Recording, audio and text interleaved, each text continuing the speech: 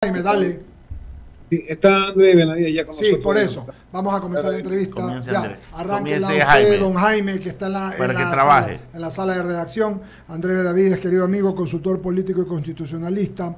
Eh, el tema básico, Jaime, es el, tem- el nuevo mandatario eh, eh, debe, primero, y alcanzaría a realizar una consulta popular para poder trabajar en algunos temas y aspectos que le dificultaron el accionar al actual gobierno. Siga usted, don Jaime, con las preguntas, por favor, y ahí está Andrés. Gracias, mi querido Eduardo. Andrés, bienvenido. La verdad es que eh, sí, lo que, se trata es de qué manera podría afectar una consulta popular el día de hoy, que es en contra, la, digamos, la, parte del Yasuní y del Chocoandino, van a afectar las arcas fiscales de ley. Y eso, eh, la forma de salir, digamos, del nuevo mandatario, con lo que se enfrentaría es realizando una nueva consulta para tratar de ver cómo, cómo, cómo eh, digamos, mitigar este problema financiero, si que llamarlo así, porque la gente se pronunció en el, en el sector de, de, de- del a favor, perdón, en contra del, del- del dejarlo bajo tierra, es decir, por el no, allá donde se vive, en, en- cerca al, al bloque 43. Cu- ¿Qué, ¿Qué nos dices tú con respecto a lo que tendría que ser el nuevo mandatario? Buenos días, un cordial saludo para usted, Jaime, para Eduardo y todos quienes están en cabina. Pues bien, eh, el pueblo se ha pronunciado en las urnas y evidentemente, conforme lo dispone el 116 de la Constitución, es de un cumplimiento obligatorio e inmediato. Evidentemente, la consulta popular que tiene que, que, tiene que ver con el Yasunite tiene varios efectos colaterales. Uno de ellos es que justamente en un año el Estado debe desmantelar toda la maquinaria, industria que existe ahí. Y evidentemente que existe un gasto por parte del Estado alrededor de 500, 600 millones de dólares. Otro segundo efecto colateral es que el Estado dejará de percibir cerca de mil a mil doscientos millones de, de dólares que irían al presupuesto general del Estado. Entonces, ¿de dónde, cómo se va a llenar ese hueco fiscal? Dirían algunos. Y ahí vamos a responder tu pregunta. ¿Qué podría ser el próximo gobierno en el marco de esta situación? Algunos dicen una nueva consulta popular. Yo no sería tan amigo de una consulta popular. ¿Por qué razón? Porque el proceso desde la convocatoria, el control de la co- Corte Constitucional y llegar a las urnas, siquiera nos estamos llevando seis meses. Seis meses ya le quedaría al gobierno un año para seguir gobernando. Segundo, una consulta popular cuesta alrededor de 80 millones de dólares. Entonces, en ese sentido, obviamente que existe también aquí una erogación de recursos por parte del Estado. Tercero, ¿qué pasa si la consulta popular se pierde? Quedamos en las mismas circunstancias y perdido ahí un billete. Entonces, claro, aquí tienes que ver la forma de modificar la política económica y a partir de ahí ver cómo cierras este hueco fiscal en el presupuesto general del Estado, ya sea eliminando los subsidios, ya sea aumentando impuestos o ya sea endeudando al país, porque otra forma no existe, o reduciendo, reduciendo el gasto público, cosa que esperaría que no, no ocurra así. Entonces, obviamente el próximo gobierno, ya sea de la señora González o del señor Novoa, se van a enfrentar a este problema, un problema que es bastante grave y que evidentemente golpea las arcas fiscales del Estado. Andrés, pero, pero de las opciones que me das, ni subir impuestos no es opción, porque la verdad es que el pueblo se levanta y, y le cae a tute, como quien dice, a derecha. Por otro lado, eh, el tema de créditos, estamos sin crédito. Así de sencillo es porque estamos con, un- con un riesgo país demasiado alto y los índices dicen pues que no vamos a poder pagar las deudas. O sea, más o menos por ahí va el tema. Y lo otro que tú me decías es eh, aumentar, bueno, no me acuerdo la tercera, que era Eliminar el subsidio. eliminar el subsidio. Eso es más que lo queman pues, al presidente. Eso no va a pasar. Eso no, es, es ya pasó además. Entonces, ante eso hecho, porque estos tres ninguno es dable, y bajar el gasto, gasto corriente, digamos, en personal, hablan de que el 90%, 80% es gasto de, de seguridad, médicos y, y educación, en cuanto a, a profesores, eh, policías y doctores. Pero realmente no le veo una salida, te soy honesto. O sea, esto se complica muy, es muy difícil tomar una decisión. Entonces, el próximo gobernante o el próximo presidente, no sé qué va a hacer, porque la verdad es que a nivel económico está, está con las manos atadas. No sé si tú piensas lo mismo, porque la verdad es que no va a poder tomar ninguna de las decisiones que estamos hablando. De acuerdo contigo, Jaime, por eso yo estoy dando medidas que son drásticas. O sea, los señores que promovieron el tema del Yasuní también no solo debían darnos esta, esta pregunta, sino también la alternativa ante el, eh, este, este hueco fiscal que se va a generar el presupuesto general del Estado. Porque una cosa es decir, sí, soy ambientalista, se va a proteger el Yasuní, y otra cosa es dónde va a sacar ese billete. ¿ya? Ahora, yo creo que de las tres alternativas, esas son las más viables. Económica y técnicamente hablando son las más viables. Políticamente y ciudadanamente yo creo que son las más antipopulares. En eso estamos claros. Ahora, lo que podría pasar es que también se le dé un milagro al próximo presidente de la República y suba el precio del crudo y con eso podría estar ahí compensando.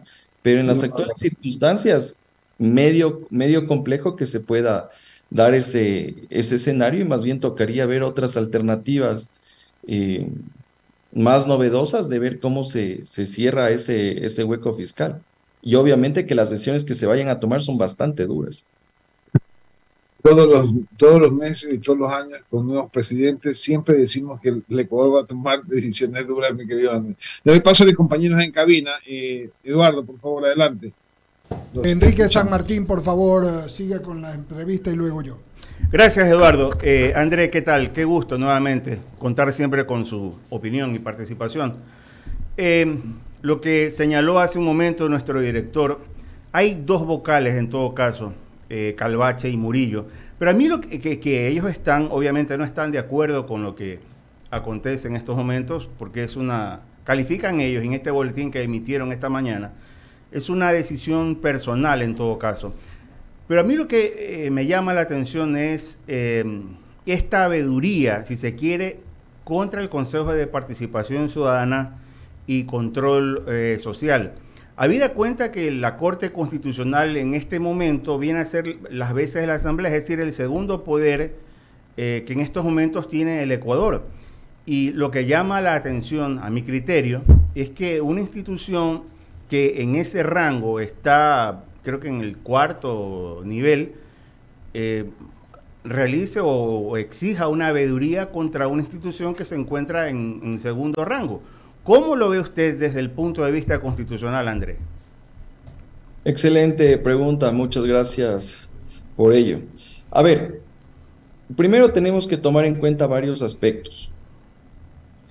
Las decisiones del Consejo de Participación Ciudadana Transitorio están blindadas por un dictamen del 2019 de la Corte Constitucional. Dictamen que nace de una acción de interpretación que presentó la Función de Transparencia y Control Social, pero que tiene como origen lo que hizo en su momento el cura Tuárez. Ustedes recordarán que en el 2018 el cura Tuárez quiso bajarse, Así 2019, a las designaciones de la Corte Constitucional. ¿Y qué pasó? La Asamblea Nacional lo censuró y destituyó a través de un juicio político. ¿Ya? Entonces, aquí lo que estamos viendo es una intentona por parte de este Consejo de Participación Ciudadana, principalmente de su presidente, que él buscó la forma de cómo bypasear ese dictamen de la Corte Constitucional. ¿Y cuál fue el pretexto? ¿Cuál es la hoja de ruta? Porque nuestros políticos son previsibles. A ver, el Consejo de Participación Ciudadana se frota las manos con el objetivo de tumbarse la Corte Constitucional. Pero si es que lo hace por sus propios fueros, obviamente que la Corte Constitucional los va a destituir. Entonces, ¿cómo fue el bypaseo? Te buscaste a una persona que te presente una solicitud de veduría, tú le niegas, esa persona va a Manaví, Así es, Montecristi. presenta una acción de protección, ese juez le da la acción de protección y con eso tú dices, ah, tengo que acatar una sentencia. Entonces, claro, hay armas la veeduría ciudadana, incluso en la sentencia dice con presupuesto y obviamente que el señor Vera hace unos dos días ya dijo en medios de comunicación que iba a acatar porque debía revisar las actuaciones eh, del señor Trujillo y de su Consejo de Participación ciudadana, etcétera, etcétera. Claro, pero ¿con qué objetivo? Con un objetivo de tumbarse a la Corte Constitucional. Esa es la hoja de pues ruta. Pues. Ahora, la Corte Constitucional el día de ayer ha solicitado eh, informes de cumplimiento de dictamen a la Fiscalía General del Estado, al Consejo de Participación Ciudadana y al juez de, de, Montecristi. Y obviamente que tienen que responder en el plazo máximo de 24 horas. Y ahí la Corte Constitucional puede tomar dos decisiones. La primera hacer un llamado de atención, o la segunda, destituir a esos eh, funcionarios que han incumplido el dictamen y también, de ser el caso, podrían estar cometiendo un delito de incumplimiento de decisiones legítimas de autoridad competente prescrito en el 282 del COIP. Entonces aquí vemos que la Corte Constitucional tampoco se va a dejar tumbar fácilmente. Y, es claro que, la Corte está utilizando sus mecanismos que están previstos tanto en la Constitución y en la ley. Eh, eh, quiero estar eh, claro, usted habla de 24 horas de parte de quién, de la Corte Constitucional, ¿ellos pueden pronunciarse en 24 horas? Estoy indicando que la Corte Constitucional a estas autoridades les ha dado el plazo de 24 horas para que se pronuncie. Mm, perfecto, correcto. Y entonces aquí obviamente ya hay, como usted nos lo ha graficado, aquí hubo una especie de bypaseo porque llega finalmente a Montecristi, donde eh, ejecutan esta acción de protección, y bueno, y es evidente la intención, tal como usted lo ha señalado. O sea, y en verdad, eh, lo que le dije hace un momento y al inicio de, la, de mi pregunta es, ¿cómo una institución que está, creo yo, en el nivel de los poderes del Estado, en el cuarto lugar me parece, contra en estos momentos la Corte Constitucional que viene a ser las veces del del poder legislativo.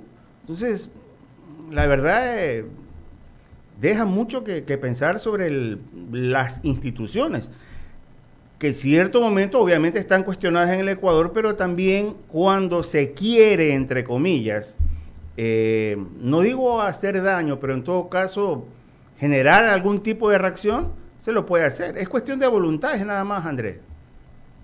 Usted lo ha dicho, es cuestión de voluntad y en el ámbito político se puede ver hasta tostar granizo.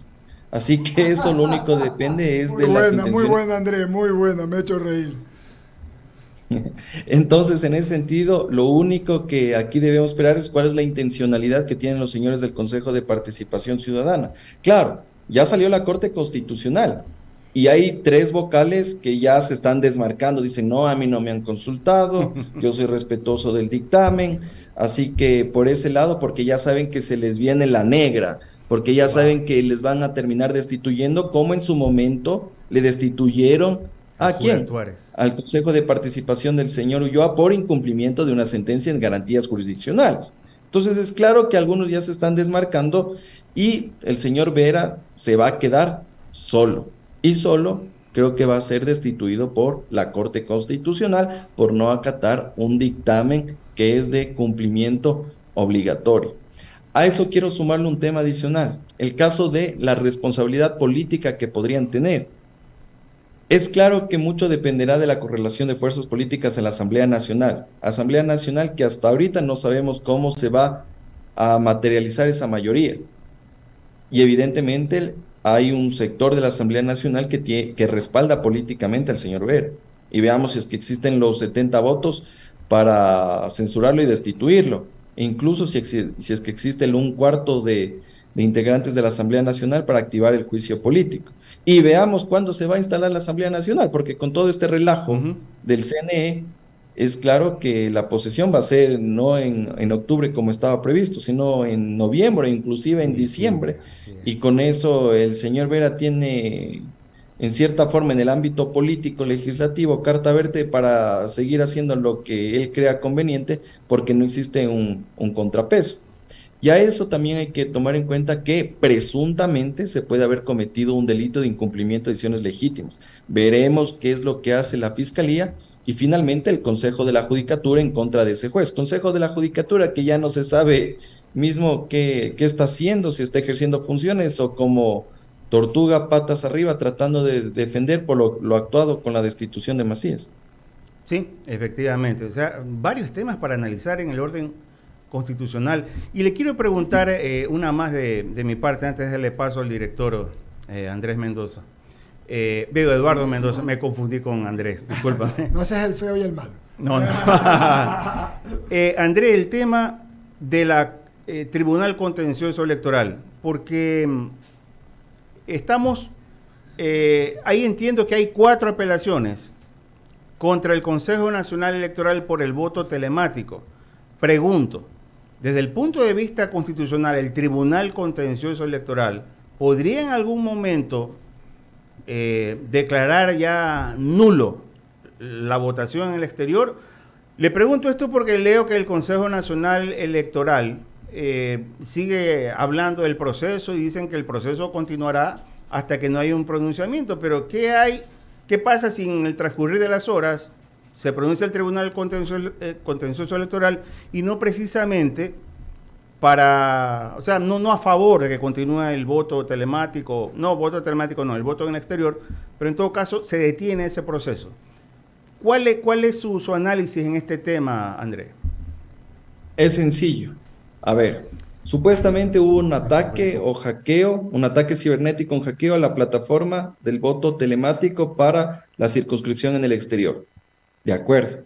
Ahora, si revisamos el Código de la Democracia, el 143, ¿existe causal para declarar la nulidad de las votaciones en función del hackeo o ataque cibernético? La respuesta es no. Primer punto. Segundo punto. Ante esa decisión, ¿qué es lo que corresponde? Presentar un recurso subjetivo ante el contencioso electoral. ¿Qué opciones tiene el Tribunal Contencioso Electoral? Ratificar esa decisión o revocarla. Si a mí me pregunta, jurídicamente hablando, tiene que revocarla porque no hay causal. Y tercero, el CNE evidentemente está incumpliendo el 148 del Código de la Democracia que te dice que ante la declaratoria tú tienes que repetir elecciones en 10 días, cuestión que no va a pasar porque lo quieren hacer en segunda vuelta. Entonces, en ese sentido, se ven varios efectos colaterales. Uno, si es que el Tribunal Contencioso Electoral revoca esa decisión, prácticamente las votaciones en el exterior fueron válidas y ya no se deberían repetir. Y segundo, si es que esas votaciones fueron válidas ya no existiría responsabilidad incluso para la empresa que supuestamente no manejó bien la plataforma, porque diríamos que las cosas se hicieron bien, o presuntamente sospechamos que bien. Entonces, es claro que el CNE se jaló las cuadras y para tratar de superar ese problema, en lugar de ver la forma de cómo subsanar aquello, lo que hizo fue entorpecerlo más y pueden ser objeto incluso de varias responsabilidades. Y aquí vamos con tres responsabilidades. Porque aquí también no es solo de tratar de ver la forma de cómo salvar los muebles, sino que también esa omisión o acción genera responsabilidad. Primero, juicio político por parte de la Asamblea Nacional. Segundo, lo que puede pasar es que también la Contraloría General del Estado eh, lleve a cabo un examen especial respecto del manejo de los recursos y el procedimiento. Y tercero, lo que puede pasar es que eh, se haya cometido una infracción muy grave que tiene como sanción la multa entre 21 a 70 salarios básicos unificados en contra del Consejo Nacional Electoral. Entonces, aquí vemos que se dan varias circunstancias a partir de la revocatoria de ese acto administrativo por parte del CNE que declara la nulidad de las votaciones. Me preocupa, créalo, el tema es este sistema informático. Es tan fácil decir, bueno, nos hackearon pero no hay un examen eh, técnico forense para determinar las causas, porque está bien, el Consejo Nacional Electoral tiene sus, eh, sus argumentos, ¿no? su justificación, pero el pueblo ecuatoriano no puede ser que nos quedemos simplemente de espectadores y nos conformemos con lo que ellos señalan. Pero no hay un informe técnico, que, forense, reitero, que me digan, vean, e, estas fueron las circunstancias y ya hemos tomado las previsiones del caso. No sé, es mi criterio, Andrés, no sé cuál sea el suyo. Por supuesto, estamos hablando de un delito informático, lo que debe haber, al menos como usted bien lo señala, es un peritaje por parte de un experto en informática y evidentemente yo todavía sigo esperando la denuncia por parte del CNE en la Fiscalía hablando sobre este tema. Ni siquiera la han presentado, según tengo entendido. Entonces yo creo que aquí buscaron el mecanismo para ver cómo eh, se subsana este proceso y lo que fue la salida más fácil fue el tema de aplicar la causal de número 3 del 143 del Código de la Democracia que tiene que ver con la alteración, suplantación de registro electoral o de actas de escrutinio. Yo no sé ni siquiera cómo serán esas actas de escrutinio porque eso no lo hace ni siquiera un ciudadano que esté formando una junta receptora del voto, sino que es automático, pero bueno, ahí están las interpretaciones. Gracias, continúa Eduardo Mendoza. Eh, mi querido doctor, amigo Andrés Benavides, yo voy a volver al tema de la judicatura, porque creo que es un tema eh, por obvias razones no trato el otro tema del Consejo, por, eh, yo sí entiendo el tema ético, y como la ética es una palabra que tiene que ver con un tema personal, eh, no, me, no entro más que a comentar lo de la Corte, pero ahorita en el tema de la judicatura, sí me preocupa. Que a un juez, dos vocales, las matemáticas son muy sencillas, ¿no? Uno, dos, tres, cuatro, cinco. Si hay cinco votos y dos destituyen a un juez, faltando tres, eso es una barbaridad. Y, independientemente de que uno no haya estado o haya estado en el estado que está, no estaba en el Ecuador, eso es una barbaridad, mi querido Andrés.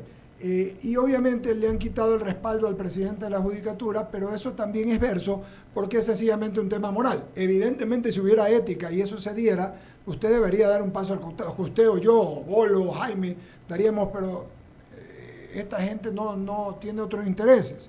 Pero eh, difieren, la, la, audiencia del juez Macías ha quedado para el 16, mientras tanto hay casos, hay un caso concretos donde están dos vocales de la judicatura y él los está juzgando y lo hace en un lado. O sea, yo le digo honradamente, yo he visto cosas bien feas en el Ecuador, pero esta es una de las peores, no sé si usted, de las peores, de las más comprometidas, de las más, déjeme buscar, burda, esa es la palabra, André. Bueno, respecto de la situación del Consejo de la Judicatura, estimado Eduardo, varios comentarios. El primero, que usted bien lo dice, uno más uno son dos y dos no son mayoría de cinco, ¿ya? Y el 164 del Código de la Función Judicial nos dice que si tú quieres destituir a un vocal, un juez de Corte Nacional, necesitas mayoría absoluta de los integrantes del cuerpo colegiado, es decir, tres de los cinco integrantes. Pero aquí utilizaron el reglamento de, sesiones de la Judicatura y utilizaron la mayoría simple, cuestión que no corresponde. Lo segundo, coincido con usted.